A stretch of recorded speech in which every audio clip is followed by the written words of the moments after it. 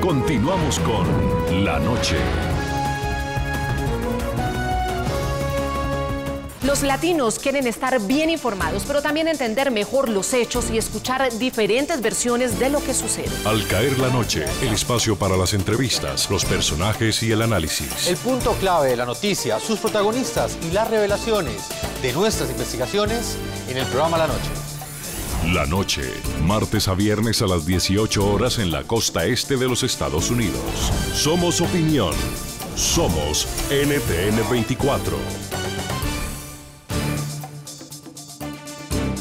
Los atentados que han estremecido a Francia obligaron al gobierno del presidente François Hollande a revisar sus estrategias de seguridad. Ante la amenaza que representa el extremismo de radicales islámicos, el gobierno francés prometió una respuesta implacable, pero según el primer ministro Manuel Valls, no será precipitada. Francia descarta la aplicación de medidas de excepción que contravengan el Estado de Derecho.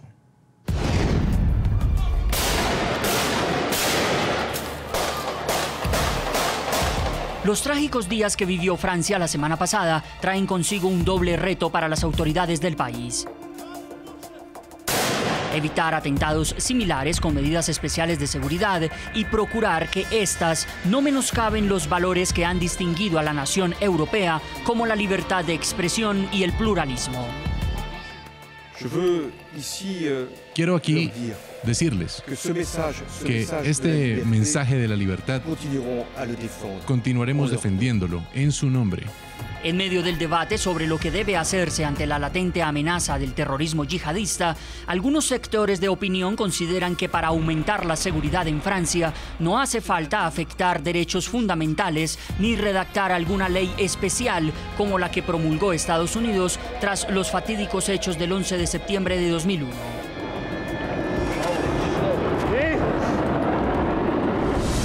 Diario El País, España, editorial enero 13 de 2015. Tampoco sirven legislaciones especiales que limiten la libertad de expresión con la excusa de proteger a las minorías religiosas de las manifestaciones de odio.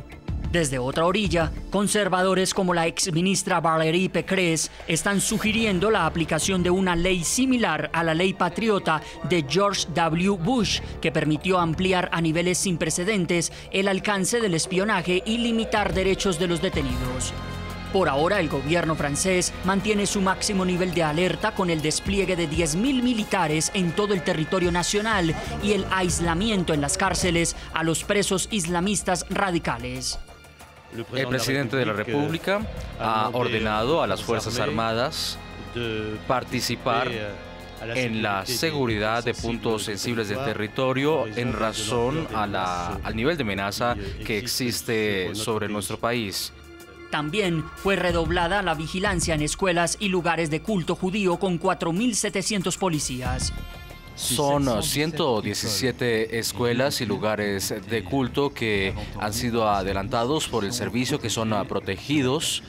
El primer ministro francés Manuel Valls sostiene que el gobierno seguirá adoptando medidas excepcionales en su lucha contra el terrorismo, pero no de excepción que socaven el Estado de Derecho. El desafío del terrorismo que hoy enfrenta Francia representa también una paradoja. Un artículo del influyente diario estadounidense The New York Times recordó este martes que la nación europea ha sido crítica de las extremas medidas de seguridad que implementó el gobierno de George W. Bush tras los atentados del 11 de septiembre. Francia ha expresado generalmente una aversión frente a las que son a menudo representadas como medidas draconianas para proteger la seguridad nacional, incluyendo la ley patriota aprobada luego de los sucesos del 11 de septiembre. Seguimos conversando en Miami, Florida, con Joseph Hatch, experto en temas de Medio Oriente y terrorismo. Señor Hatch, ¿cómo enfrentar ahora esta amenaza terrorista. Francia es posible que empiece a extremar sus medidas de seguridad en el sentido de tener que interceptar más llamadas telefónicas, controlar las entradas y salidas de ciudadanos extranjeros al país, también tener que revisar correos electrónicos. ¿Qué va a cambiar en la forma como Francia concebía antes y cómo concibe ahora la posibilidad de un ataque terrorista? Mira, lo, que pasó en Francia la semana pasada es lo que estamos llamando el 9-11 de Francia. Lo que es antes y después del Charlie Hebdo no va a ser igual. No va a ser lo mismo. Francia cambió una vez para siempre ahora. La amenaza ahora la están viendo en vivo, en directo los franceses. Por mucho tiempo ellos creyeron, eh, los franceses, que la, la, amenaza terrorista que está en el Medio Oriente va a quedar en el Medio Oriente, como nosotros los americanos por mucho tiempo creímos que la amenaza nunca va a llegar al continente americano. Ahora, hay una línea muy fina, es muy, muy eh, simplificar mucho y es muy, muy fácil decir que vamos a dejar nuestras libertades a cambio de eh, nuevas implementaciones de nuevas leyes. Pero esto lo que estamos hablando ahora no nos quita las libertades principales, son causas particulares como detener indefinidamente a las personas en Guantánamo. Esto no se aplica en el territorio de Estados Unidos. Guantánamo es, otro caso particular. Los franceses quizás van a hacer algo parecido en otros lugares.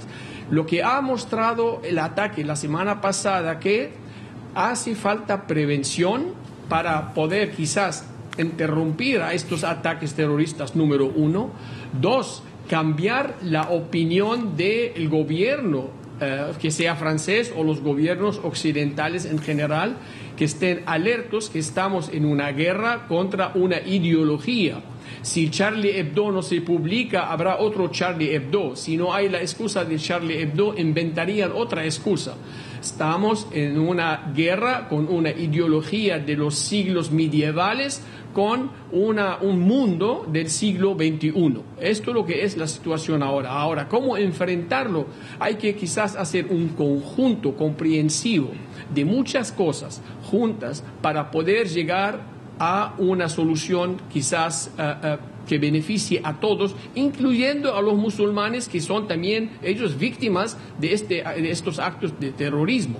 El presidente de Egipto lo ha dicho hace 10 días y ahora el alcalde de Ámsterdam de, lo ha dicho también y lo, lo, aplaudieron, aunque es musulmán él, el alcalde de Ámsterdam, y es nacido en Marruecos y fue muy específico en decir de que si no les gusta la manera de ser del occidente, vayan de vuelta de donde vinieron.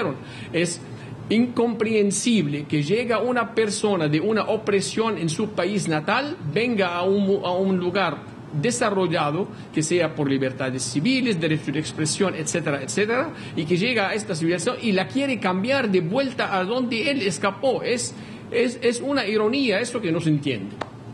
En eh, España, señor José María Gil, director del Departamento de Estudios de Terrorismo del Instituto de Seguridad Global, Usted, además, por lo que conoce como europeo, ¿cree que Francia, un país respetuoso de las libertades civiles, vaya a sacrificarlas en pro de la seguridad?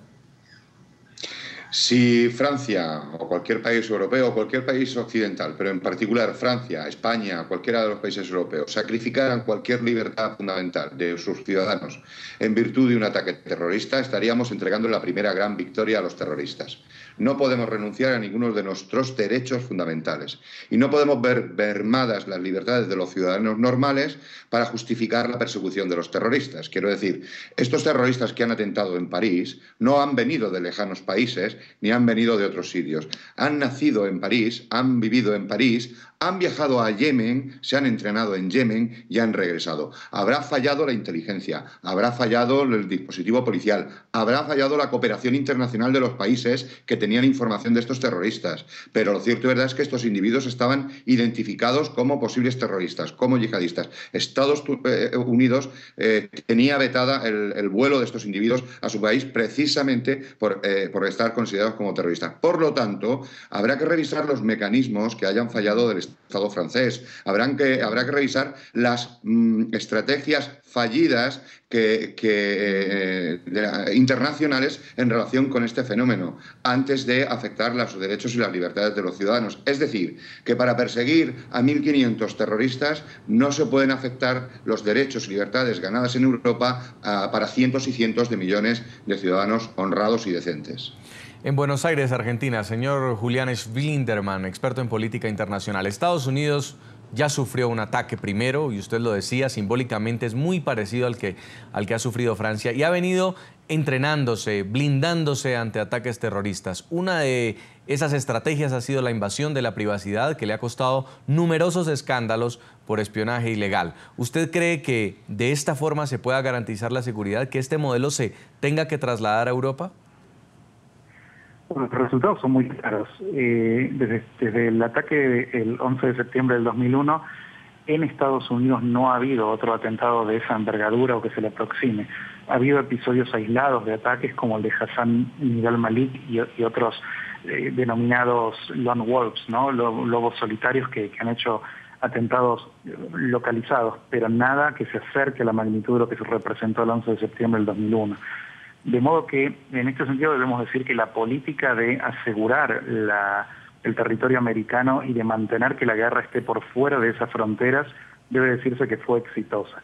El caso que enfrenta Francia y Europa por extensión es diferente, porque está habiendo una seguidilla de atentados, eh, sobre todo en Francia donde, eh, y Bélgica, recordemos, ¿no? el atentado contra el Museo Judío, un atentado contra una escuela sinagoga en Toulouse, en, en la propia Francia, ahora que además de Charlie Hebdo, además de esta masacre, fue atacado un supermercado judío kosher. De modo que lo que estamos viendo aquí es que Francia tiene un dilema mucho más agudo, porque ya la guerra yihadista está en su propio territorio.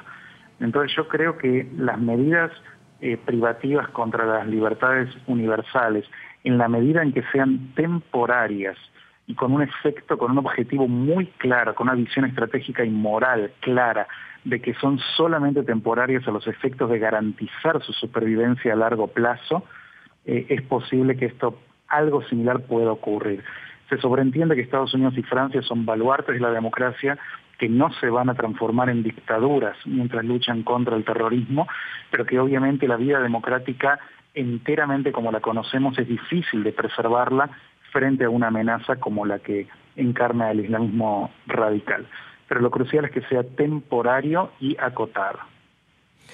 Y eh, mientras en Occidente se pregona esta libertad de expresión, hay otros países que empiezan a tomar decisiones frente a las caricaturas que podrían ofender a grupos de musulmanes. Señor Justin Thomas, portavoz del Departamento de Estado de los Estados Unidos, este martes se ha conocido que Rusia incluirá en una lista negra a los medios que publiquen caricaturas de Mahoma y que podrían incluso ser acusados de violar una ley federal. ¿Qué opina Estados Unidos de esta decisión?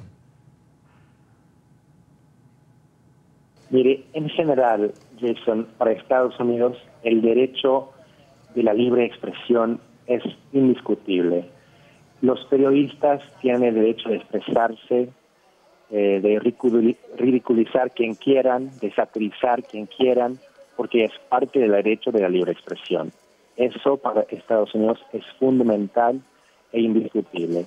Y defendemos el derecho de organizaciones turísticas principalmente eh, de expresarse libremente, porque todos dependemos de esas instituciones para informarnos estar al tanto de lo que está pasando y de formar nuestras propias opiniones. Y sin el derecho de libre expresión hay una amenaza muy fuerte a, lo que son em, lo que es la opinión popular, que es muy importante en todas las democracias. El pasado domingo el mundo fue testigo de multitudinarias manifestaciones encabezadas por líderes mundiales en París que buscaban demostrar la unidad del planeta contra el terrorismo. ¿Por qué Estados Unidos no envió un representante desde Washington? Eh, el gobierno de los Estados Unidos quedó impresionado con la unidad que el pueblo francés mostró en estas marchas. El presidente Obama se ha declarado varias veces ya su, su postura de estar con el pueblo francés, con el gobierno francés. Por parte del secretario Kerry, que estaba de viaje en India, justamente en ese tiempo, la distancia y la agenda no permitió que llegara a tiempo para las marchas en, en Francia. Ahora la Casa Blanca ha dicho que hubieran gustado tener una representación más alta, eso sí lo reconocemos, pero nuestro embajador nuestro embajador en Francia estuvo presente en las marchas junto con varios otros, eh, otras, otros representantes del gobierno americano. Pero mire, lo importante es que estamos con el pueblo francés. Francia es el aliado, aliado más antiguo de los Estados Unidos. Siempre estamos del lado del, pueblo francés y, varias acciones. Por ejemplo, el presidente Obama fue a la embajada de Francia en Washington, firmó un libro de condolencias, se ha expresado varias veces y el secretario Kerry va a viajar a Francia esta semana. El gobierno francés sabe que estamos con ellos y el pueblo francés también lo sabe. Tenemos un secretario Kerry que se expresó en francés el día de los ataques directamente al pueblo francés, mostrando su apoyo a esas manifestaciones. Así que tenemos confianza de que el gobierno francés y el pueblo francés sabe que los apoyamos y que estamos con ellos. Quiero agradecerle mucho este contacto desde Miami, Florida, señor Justin Thomas, portavoz del Departamento de Estado de los Estados Unidos. Es siempre un placer. Gracias y buenas noches. Tenemos que hacer otra breve pausa comercial. A propósito del tema de hoy, le estamos preguntando a nuestros televidentes cómo defender la libertad de expresión ante los ataques de un islamismo radical que considera los principios de Occidente como una provocación. Los invitamos a que nos respondan qué piensan a través de Twitter en las cuentas de nuestro equipo periodístico que están apareciendo en pantalla. En segundos, regresamos en la noche.